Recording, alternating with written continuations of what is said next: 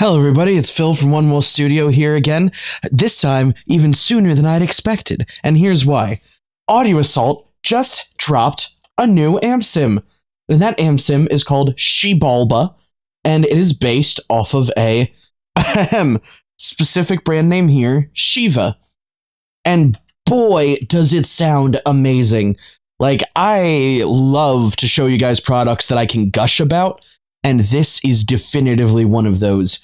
So, first off, I actually have an entire song that I just wrote for the sake of this, just drums, guitar, and that's it, because I didn't want to have anything else clouding the mix, so you can really hear the beautiful tones and how they play together. So, first off, this is going to be a review. It's also going to be an absurdly thorough walkthrough. So, as always, I'm going to do my best to show you guys what I can do with the plugin and what you guys can look forward to doing is if you do the same thing I did and impulse buy it. So, here we go. First off, there is a pedal section. Now, there are three pedals available. There is a noise gate called a Gator 2. There is a volume booster, this time with an actual volume knob. So you have an option of a low shelf, a high shelf, and a volume knob and a true bypass, as always. In software, it's really easy to do true bypass, but I appreciate it nonetheless. And then you have a tube screamer, or a Screamer. And that one has a drive knob, a tone knob, and a level knob. Now, guitarists among you will know exactly what those do, but for the sake of reference, I'll just let you know right now, you will see this come into play for some of the heavier tones because it sounds really nice. Now, along this UI strip here, you'll see that there's an input gain knob, which goes from negative 12 dB input to plus 12 dB input.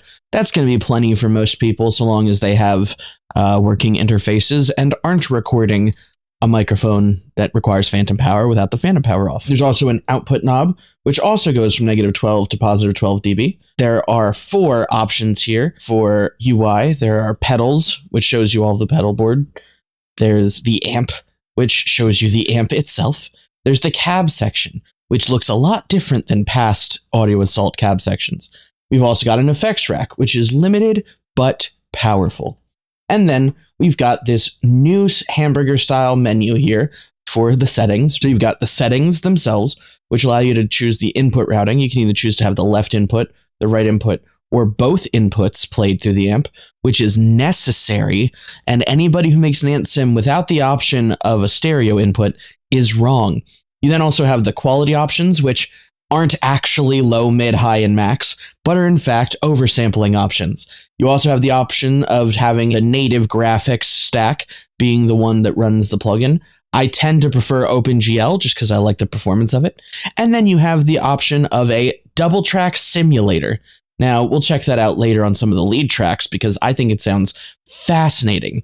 Technically, it's for rhythm guitar parts that you don't feel like tracking again, but you can use it to double track anything. And most importantly, you have the tuner.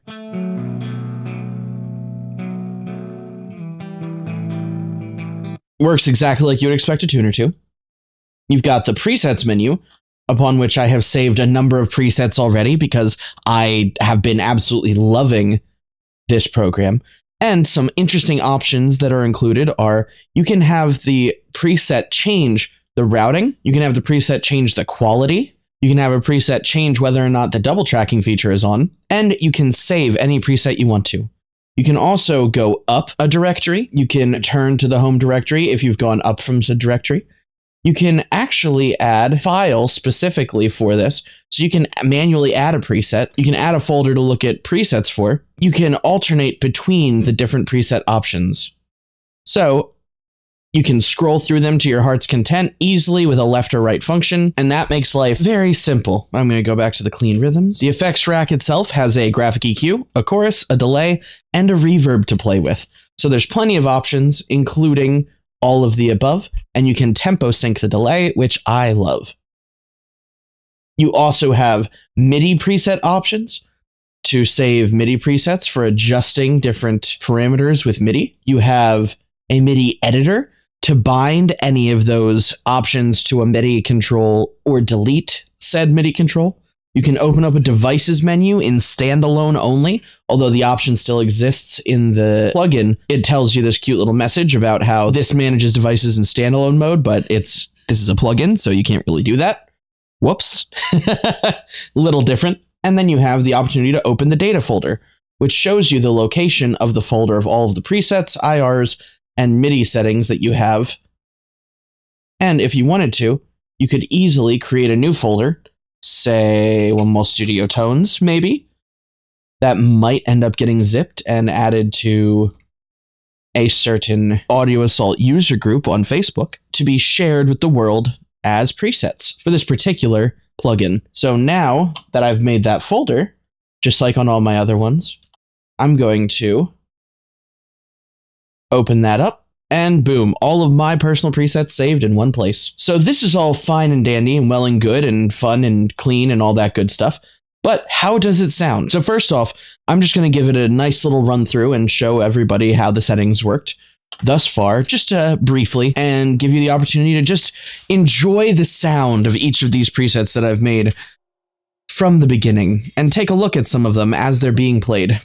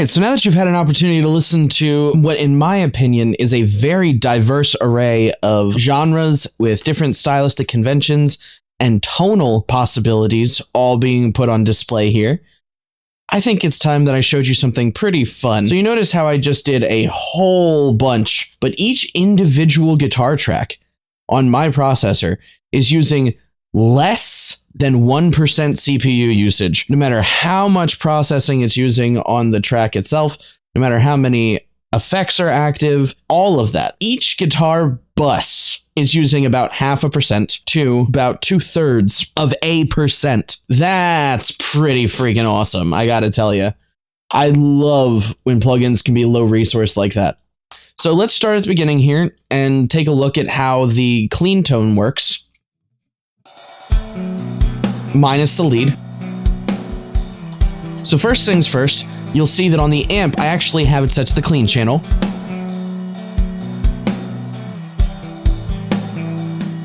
I have the gain slightly boosted.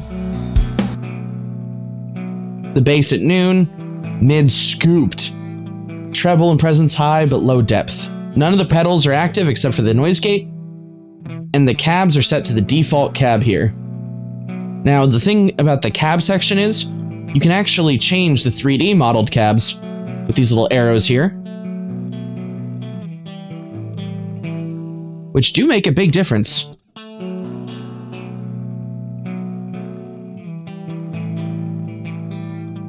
Now this is the default one.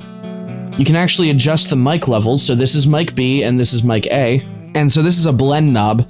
You can actually blend between the two different mics. This is all mic B. All mic A.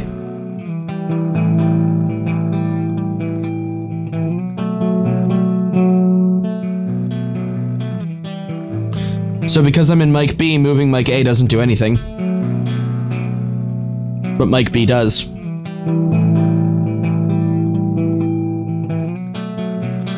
You can also hold the shift button to click on this and drag to change the mic distance from the cab. That might lead to some interesting tones.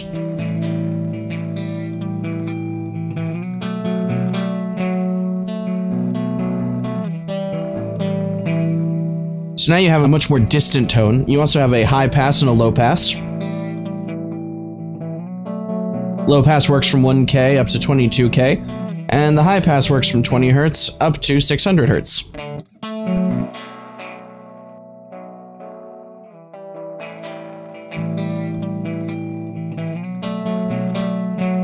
I don't have any effects on this one, so this one's a very simple tone to work with.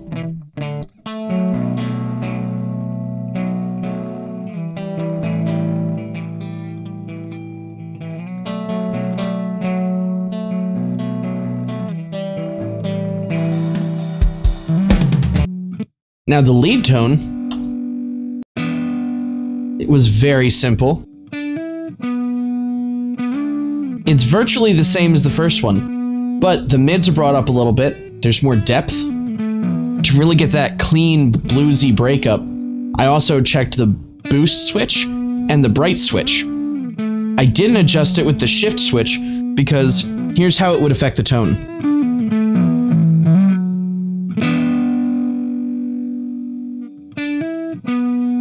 It almost makes it too present.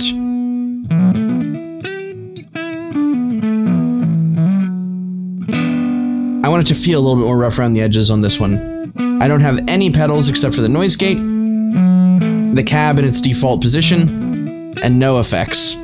So I just drive it a little bit harder with a boost, a bright knob, and some more presence and mid-range. And I get a very nice breakup blues tone.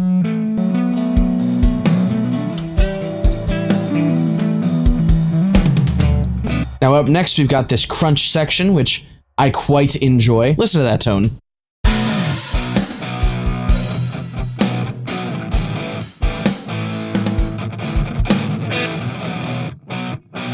Still clean, but this time I've added a tube screamer with a tone knob turned down to make it a little bit darker, a little bit more of a low end boost to give it that rumbly growl. Made the drive at around 10 o'clock, 11 o'clock here and boosted the volume just on the tube screamer, not with the clean boost, and I actually turned down the high shelf. So we've got a lot more push into the cab this time. Still clean channel, but it's crunchy. If I were to turn off the boost and the bright,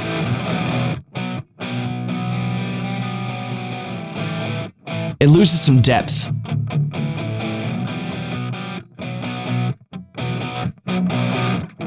I love that boutique growl.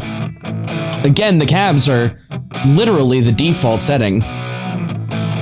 And no effects.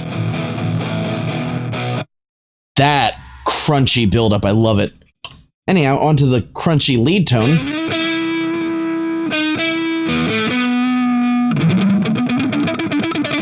More tone, more focus on the high, less on the low, volume boost on both, and I actually did shift here.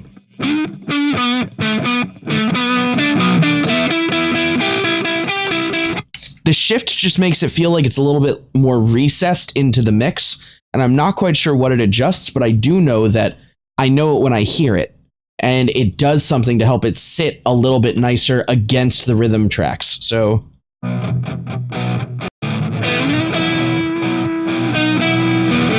It pops out a lot. Press shift. Sits right in there. Again, default cabs. These default cabs just sound so good. I had no reason to change them on this section.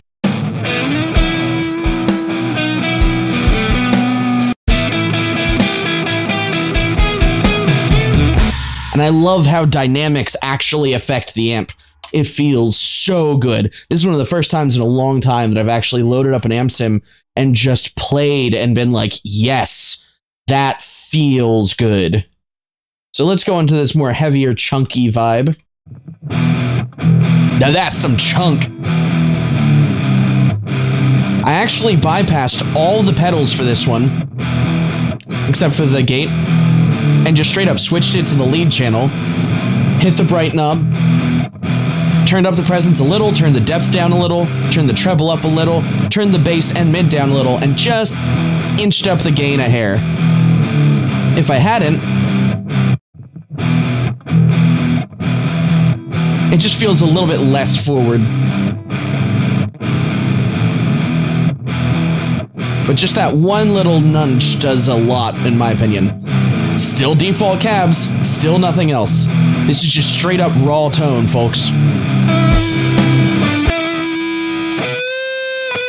And now we have the lead tone for that section, so it's the lead channel still, but I've got the bright and the boost put in, and I did turn the screamers back on. So this time I've got a lot of high end to really cut through the mix.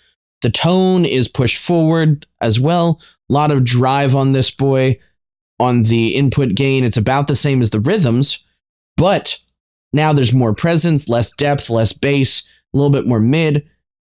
The cab is still default, still no EQ. So these are all still raw tone.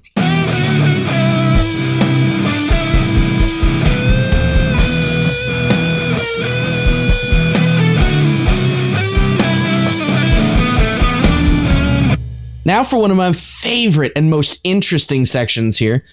I've got this shoegazy section. I called it effects guitars originally because I didn't know what I was going to make it, but check this out.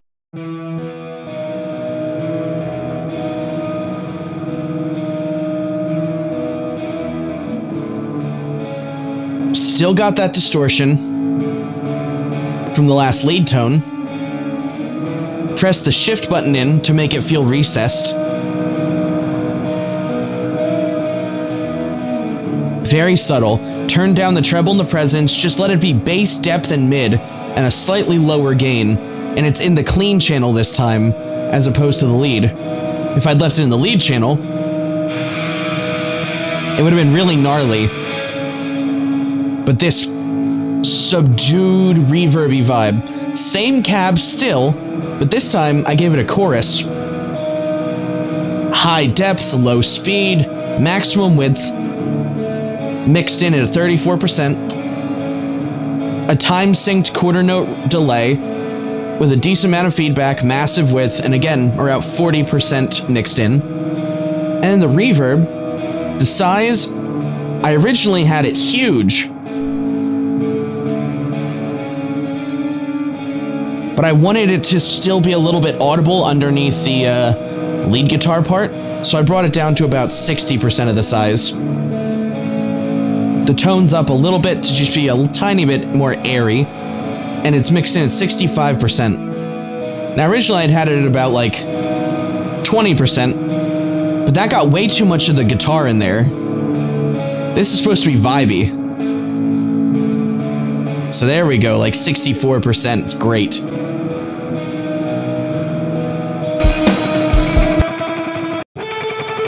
And the shoegazy tremolo lead Still clean section, maxed out gain. Pedals are all cranked. The tone is lowered dramatically. If the tone on the Screamer was actually cranked, it would be too nasally. So I softened it just enough and then drove it so it'll be a very warm mid-rangey feel. It's all mid, a lot of presence, and no bass, treble, or depth. All the switches are checked. Same cab. Same effects, even, as the uh, rhythm guitar part. because it just blended so well. So I didn't change any of the effects from the rhythm guitar version of this, and it just feels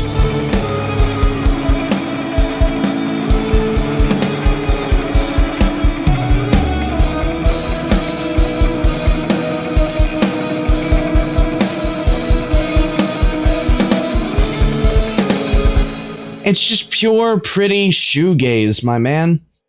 So after this, I had a breakdown, uh, musically speaking, and I thought that I wanted a really good chunky tone to just break down with.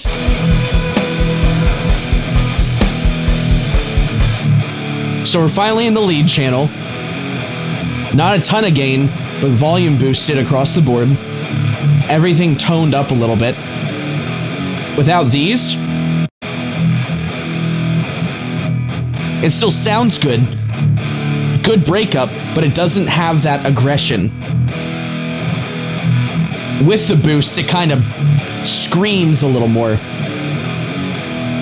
Little scooped mid, boosted presence and treble, and there's plenty of low end, even though the depth and the bass are lower. This one's also shifted so that it sits behind the drums. Without the shift, it's very in your face. But I just wanted it to be recessed a little. Cab is unchanged, and there's no effects.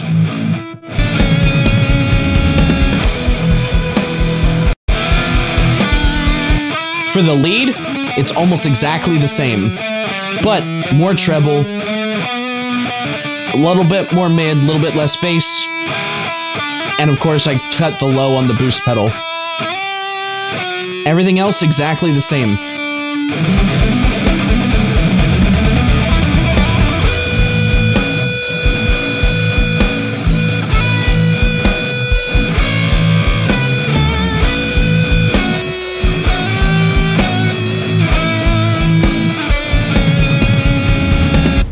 So after this part, I decided that I really wanted to show off some good metal some some deathy metal, if you would. So I just did like nine bars of straight up good old fashioned death metal, kind of blackened, kind of not. I didn't go true vault this time, but I did have some fun. So check this out. Everything's lead. The rhythm guitars are not bright and not shifted, so they're very in your face. A lot of mid scoop, a lot of presence, a lot of treble, a lot of aggression in the pedals. I boosted the highs of everything, and the drive isn't as high as you'd think, so they can still be clarity on the guitars. Didn't change the cab at all. Oh, that's pretty cool.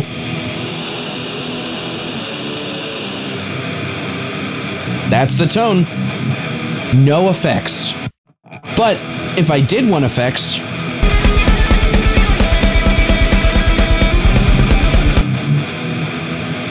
I'd probably use this graphic EQ. Cut some 2K, boost some 8K, boost some 120, cut some of that, cut some of that for the snare.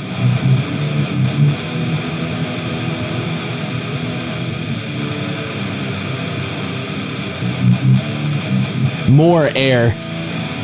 Now that's old school.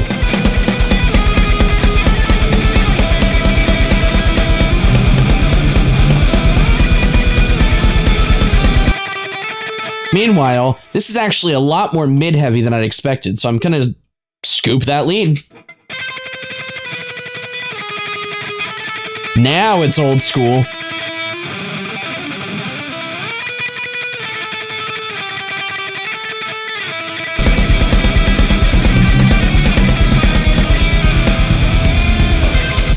So you can get some seriously crushing tones with this boy. Like, no lie, this whole song is just this amp sim so far, and I love it. The amount of power that you can get to go from shoegaze to aggressive to whatever you feel like is just straight up incredible. And honestly, the fact that you can have your own impulse responses as well, and it comes with more than just the default 3D cabs, but you have these IRs as well to go off of. So the default one is Shibalba. Which is very similar to the 3D cab, but a little more scooped. And you can adjust these. These are sliders to emulate the movement of the mic closer to the cap or further to the cone, and also distance from the cap. So you can do very close or you can do it pretty far away. So let me adjust that and show you. This is cap. This is cone, but far. Cone, but close. Cap, but close. Cap, but far. And everything in between works great. You've also got a high pass and a low pass on the individual IR loader. It's the same one as on the 3D version.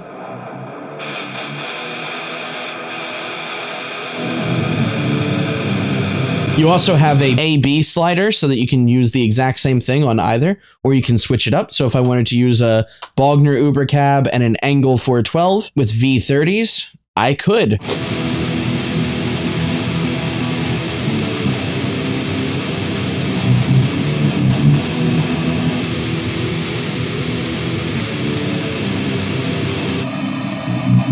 You can phase invert whatever you want, and you can actually align them based on samples. So if something doesn't sound quite right,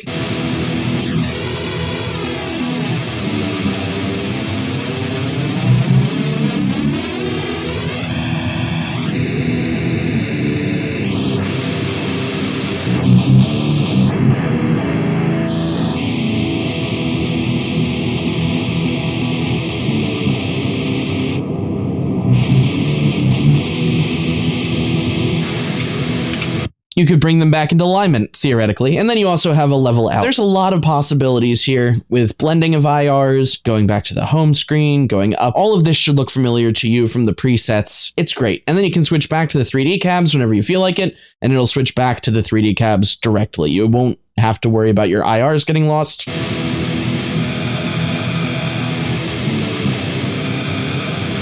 It'll just alternate between them and you can shoot out which you prefer. I actually really like the 3D cabs in this one, but ultimately it's up to you. So with that in mind, I think that I've officially done a thorough review, and now I'd like to give my take. I love it. It's great. I really, it was an instant purchase for me. I am a huge fan of these kind of boutique amps, and I've always wanted to have some of my own. And this really does hit that sweet spot for me because these tones that I've been getting with this particular sim in no time flat allowed me to basically release a video on the same day that Amp Sim came out. That's impressive. So hopefully you guys learned something. Hopefully you enjoyed it. As my wife is always saying, always be plugging. So like, comment, share, subscribe, do whatever you have to in order to validate me as a YouTuber and a human being. And if you have any comments or questions, suggestions, whatever, leave them in the comment section below. I am happy to respond to them and heart them and uh, show you guys that I appreciate you as much as, if not more than, you appreciate me. So I'm Phil from One Wall Studio. Thank you so much for watching. This has been a lovely experience with you guys, and go buy Shibalba. It is a great amp sim. All right, take care. Bye bye.